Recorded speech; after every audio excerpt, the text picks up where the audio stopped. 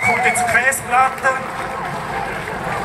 Liebe Freunde, liebe Massenmedien, liebe Fuckers, Fuckerchiki, Fuckringios und Fuckers, herzlich willkommen an dieser Demo.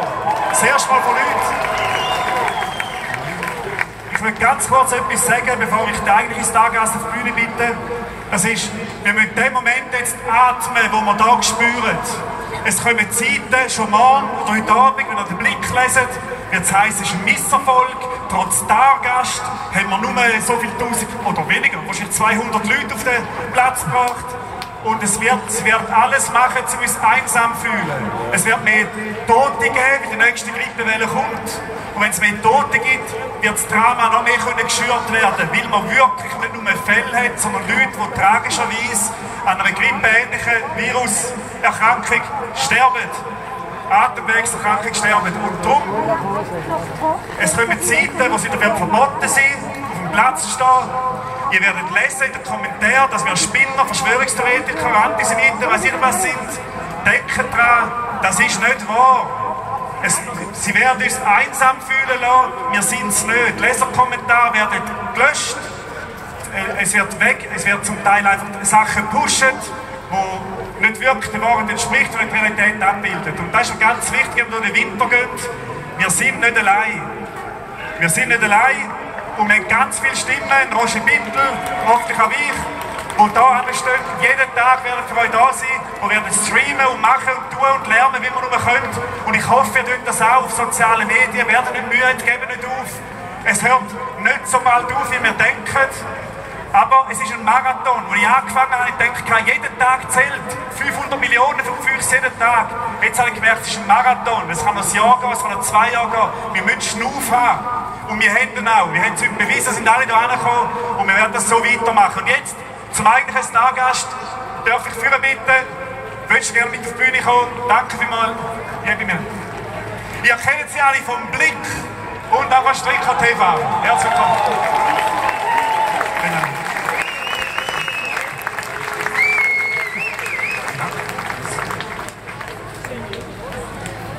So, Melanie, du willst sicher ein paar Sachen klarstellen. Hast du etwas vorbereitet? Hallo zusammen.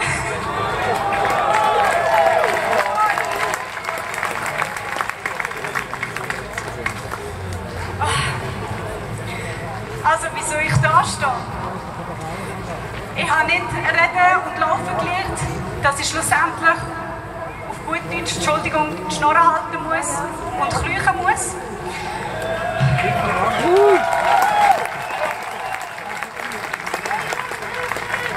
Wie ihr gesehen gerne auf Menschen zu und rede gerne über Probleme. Wir haben viele Probleme auf dieser Welt. Ich weiß gar nicht, wo anfangen. Fangen wir an mit dem menschenverachtenden System. Bevor wir zu Corona kommen, möchte ich auch das erwähnen. Alle fünf Sekunden verhungern ein Kind. Wir schießen tonnenweise Essen vor. Weil, was wir mit den Tieren machen, wir sind nicht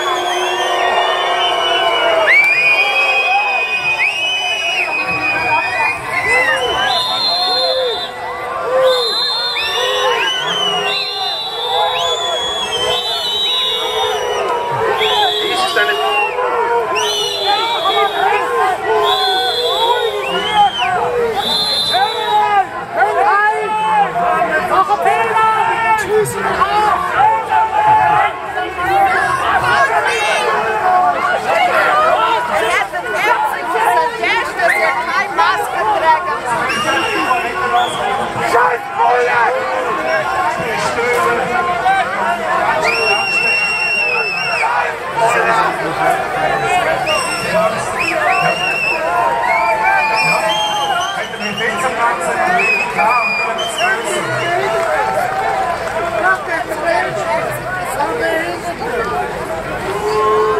Also nochmal. Die drei größten Industrien sind Rüstung, Pharmaindustrie, Alkohol und Tabak. Das sagt alles über uns Menschen aus. Ich finde es schlimm, wie viel tonnenweise Essen wir fortschießen und alle fünf Sekunden verhungert das Kind. Was wir mit den Tieren machen, muss ich gar nicht erwähnen. Der Mensch tut überall reinfunken. Sogar in der Natur. Aber kommen wir jetzt zu Corona-Massnahmen.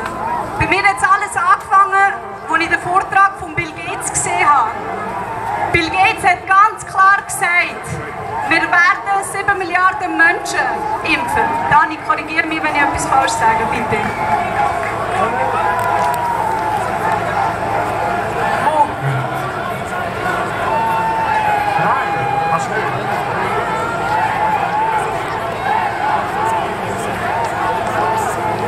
Ja, jetzt sind es Leute verhaftet. Nur zum Sagen, auf dem Wände vorne, weiss ich, dort steht, ist dick gestanden, einem Laufband, eineinhalb Meter Abstand oder Maske und nach zwei, drei Viertelstunden haben sie plötzlich eine andere Idee gehabt. Das ist dann ihre Schnapsidee, da plötzlich andere Regeln zu machen.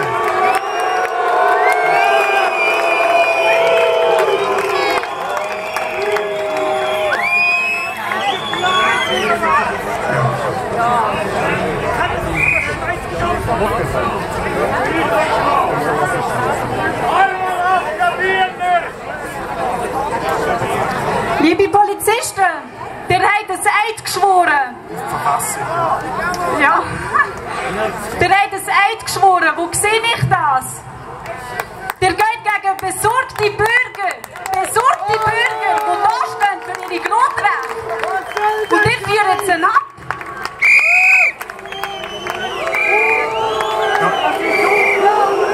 Es ist wichtig, dass wir friedlich bleiben. Provokationen sind gewollt. Ich kann euch sagen, wenn ein einziger von den Nerven verliert, ist er nachher im Blick. Oder? Weil in Berlin ist nichts passiert de facto. Da sind hier ein paar Leute Stegen aufgerannt und jetzt geheißen, hat der Reichstag gestürmt. Wir wissen, die Fake News sind überall und breit und sie wollen die Provokation. Sie machen es bewusst, sie wollen einschüchtern, dass nächstes Mal weniger kommen und nächstes Mal werden mehr kommen.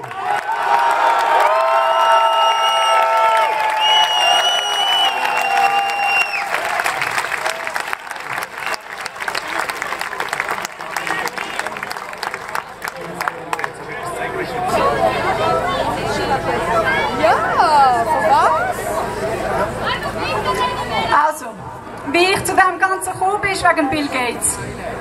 Er hat gesagt, er möchte sieben, oder sie werden 7 Milliarden Menschen auf dieser Welt impfen. Ich frage mich ganz ehrlich, ist er Arzt? Ist er Virolog? Was ist er? Er hat nur Geld.